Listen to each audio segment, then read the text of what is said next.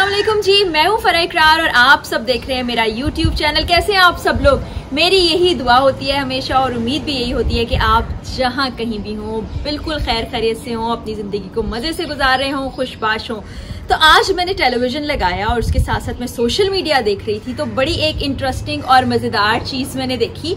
मैंने सोचा आप लोगों से भी शेयर करूँ। तो जनाब, इस्लामाबाद में इमेच्योर शॉर्ट फ़िल्म फेस्टिवल का इनका कराया गया था, जो कि आईएसपीआर की जानब से कराया गया था। उसमें वज़ीर अजम इमरान खान साहब ने भी शिरकत की। इमरान खान साहब ने जो जीतने वाले अफराद थे, उनमें तहफ़ भी तकसीम किए उनको जो अवार्ड दिए गए, वो उनमें तकसीम किए और साथ ही साथ उन्होंने अपनी राय का इजहार भी किया। और उनकी राय सुन के मेरे तो दिल को बहुत खुशी हुई और मुझे ये उम्मीद बंधी कि अब हमारा मीडिया ना कुछ बेहतर तरफ़ चला जाएगा। यानी कि ड्रामा, फिल्म्स और टेलीविज़न जरा बेहतर रुख में आगे बढ़ेंगे। तो जनाब, इस्लामाबाद में इस तकरीब का इनका हुआ था, जिसमें प्राइस डिस्ट्रीब्यूशन की जानी थी। वज़ीर आज़म साहब ने वहाँ पर शॉर्ट फ़िल्म देखी। नौजवान नस्ल की कारकर्दगी को बहुत सराहा। उन्होंने कहा कि मेरा दिल इस वक्त बाग बाग हो गया है, जो मैंने नए लोगों की काविशों को देखा है। उन्होंने कहा कि पहले हमारे ड्रामास बहुत बेहतरीन थे, बहुत ज़बरदस्त थे। यहाँ तक कि हमारे बैरून मुल्क में रहने वाले लोग उन ड्रामों को देखते थे, पड़ोसी मुल्क में रहने वाले भी ड्रामों को देखते थे। फिर हुआ ये कि हमने कॉपी शुरू कर दी। और उन्होंने ये भी कहा कि कॉपी कभी भी कामयाब नहीं होती ओरिजिनल चीज़ कामयाब होती है। कॉपी हमने किसकी शुरू कर दी जी? कॉपी हमने की बॉलीवुड की और हॉलीवुड की, जिसके बायस हमारा अपना कंटेंट हमारा अपना कल्चर हमारी अपनी सोच और ख्याल कहीं दूर रह गए। और ये हम पर गालिब आ गया, जिसके बाद हमारी ड्रामा इंडस्ट्री फ़िल्म इंडस्ट्री वैसी नहीं रही जैसे कि होनी चाहिए थी। तो उन्होंने कहा कि अब ये जो नौजवान नस्ल है, इनका काम देख के मुझे बड़ी उम्मीद बंदी है और मुझे बहुत अच्छा लग रहा है और मुझे इस बात की भी उम्मीद है कि ये लोग पाकिस्तान के कल्चर को आगे लेकर जाएँगे, पाकिस्तान का सॉफ्ट इमेज दुनिया भर में फैलाएँगे। उन्होंने कहा कि पाकिस्तानियत का तकाजा भी यही है कि हम सब मिलकर इस चीज़ को फरोग दें।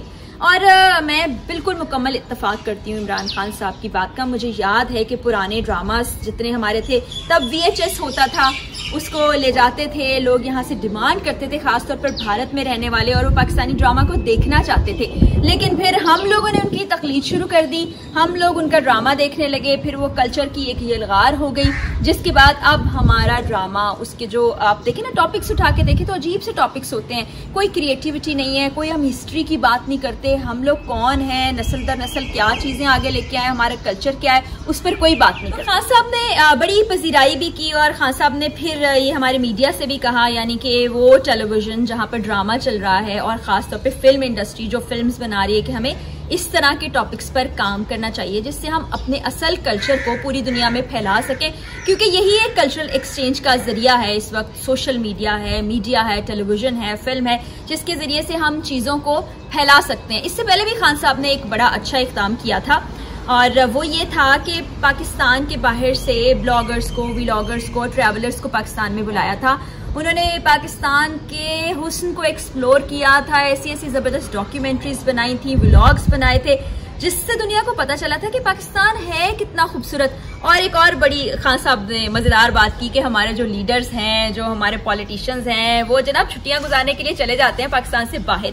पाकिस्तान को वो एक्सप्लोर ही नहीं करते हैं। हालाँकि पाकिस्तान इतना ज़्यादा हसीन है। मैंने ऑलमोस्ट पूरे पाकिस्तान में विज़िट कर लिया पूरा पाकिस्तान घूम लिया है। मैं आपको बता सकती हूँ कि कश्मीर, गवादर, नारान कागाज करदू, ये सब जगह इतनी खूबसूरत हैं कि आप बाकी दुनिया से इसका मुवजना करें तो किसी तौर ये कम नहीं है। लेकिन वही बात है एक्सप्लोर नहीं कर सके। लेकिन इस सिलसिले में हमें टूरिज़्म की सहूलियात भी देनी होगी तो खास को इस पर भी थोड़ा सा काम करना होगा। ये जो national amateur short film festival है, इसका आईएसपीआर ने इनका कराया था और आज जो तकरीब मुनद की गई थी, उसमें डिस्ट्रीब्यूशन थी प्राइस डिस्ट्रीब्यूशन थी। उसमें बड़े नौजवान लोग नज़र आए और मुझे भी बड़ी खुशी हुई।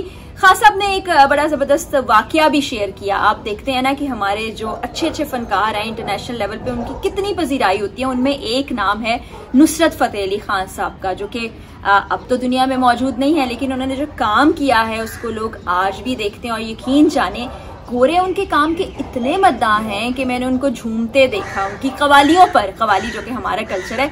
तो लैंग्वेज का बैरियर भी नहीं था। उन्होंने जो क्रिएशन की, उसकी इतनी कदर थी। और खान साहब ने भी बताया कि जब शौकत खानम के लिए वो फंड्स इकट्ठे कर रहे थे तो उस दौरान वो नुसरत साहब को साथ लेकर बैरून मुल्क जाते थे फंड रेजिंग के लिए वहाँ पर कॉन्सर्ट करते थे।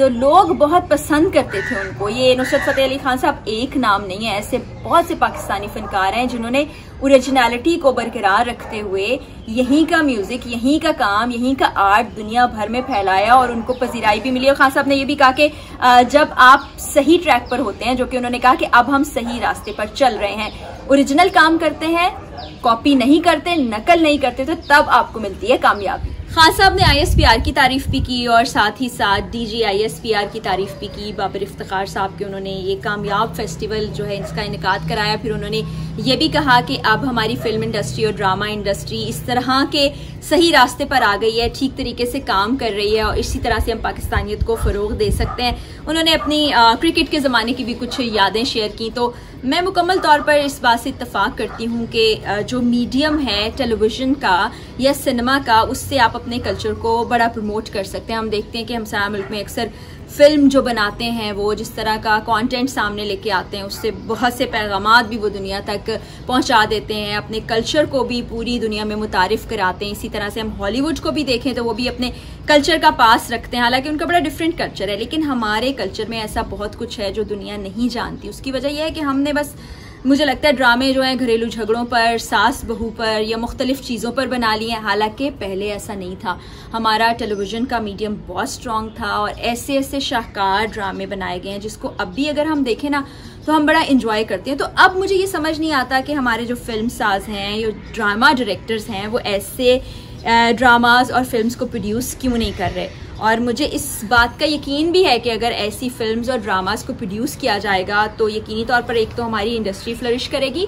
उसके साथ साथ हमें मुख्तलिफ़ किस्म का अच्छा मवाद देखने को मिलेगा। हम अपनी हिस्ट्री अपने कल्चर और पाकिस्तानियत को फ़रोग दे सकते हैं। साथ ही साथ, जैसे खान साहब ने भी कहा कि पाकिस्तान का एक सॉफ्ट इमेज इस तरह से आगे जाएगा। जी तो ये बड़ी अच्छी चीज़ हुई आज और मेरा जी किया कि मैं आप लोगों से भी शेयर करूँ, क्योंकि अमूमी तौर पर ऐसा होता है कि जो माशरे में मनफी चीज़ें हो रही होती हैं, जिस पर हमारा दिल बड़ा दुख रहा होता है, हम वो शेयर करते हैं, उस पर बात करते हैं, लेकिन हमें ये भी करना चाहिए कि जो पॉजिटिव चीज़ हो रही हो, अच्छी चीज़ हो रही हो, उसको भी शेयर करें ताकि ये आप लोगों तक भी पहुँचे, जिन लोगों तक नहीं पहुँच सकी, जिन्होंने खबरों में नहीं देखा वो इस तरह मुख्तलिफ़ वीडियोज़ और व्लॉग्स के ज़रिए से देखते रहें। तो मुझे आज ये सुन के बड़ी खुशी हुई और मैं ये चाहती हूँ, मेरी दिली ख्वाहिश भी है कि पाकिस्तान की सियाहत को भी फ़रोग मिले, साथ ही साथ पाकिस्तान की मीडिया इंडस्ट्री अपना थोड़ा सा रुख और सोच बदल ले। तो पाकिस्तान कहाँ से कहाँ जा सकता है, उसका इमेज पूरी दुनिया में कैसे बहाल हो सकता है, और फिर हम अपने कल्चर को फ़रोग कैसे दे सकते हैं? तो आज मैंने अपने इस ब्लॉग के ज़रिए से आपसे अपनी सोच शेयर की, ये एक अच्छी सी पॉजिटिव खबर शेयर की। इसी तरह मैं आप लोग के लिए ब्लॉग बनाती रहूँगी और जाते जाते फिर आप लोगों से वही रिक्वेस्ट के चैनल को लाइक और सब्सक्राइब करना मत भूलिएगा। इस दुआ के साथ कि अल्लाह हम सबका और हमारे प्यारे पाकिस्तानियों का हामी नासिर हो। अल्लाह हाफिज़।